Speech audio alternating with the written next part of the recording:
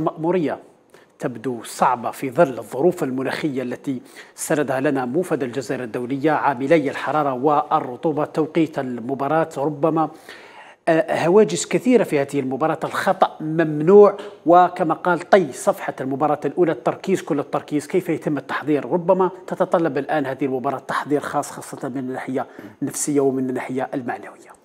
أكيد التحضير البسيكولوجي يعني أو المدرب المسوني يوافقني الرأي أنه التحضير مهم جدا في مثل هذه الظروف في ظل النتيجة التعادل اللي وقعت في المباراة الأولى.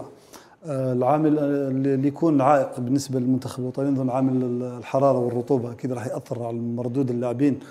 آه، نتمنى فقط أنه اللاعبين ما يدخلوش في مثل الشوط الأول اللي دخلوا به المباراة الأولى يكون الضغط عالي جدا.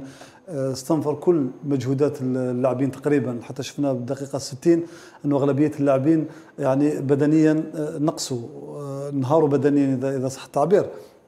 راح تكون مباراة صعبة نظن أنه الاجتماع اللي وقع مع رئيس الاتحادية وليد صادي والمدرب يعني من جانب المعنوي تحفيز اللاعبين نسيان المباراة هذيك عندنا نقطه الآن في في رصيدنا. المباراة هذه تهمنا جدا أكثر من المباراة الثالثة لأنه آه، لو نفوز بالمباراة هذه راح نقطع تأشيرة التأهل الدور الثاني بصفة رسمية. إذا لا قدر الله إذا حدث العكس لازم ننتظر المباراة الأخيرة.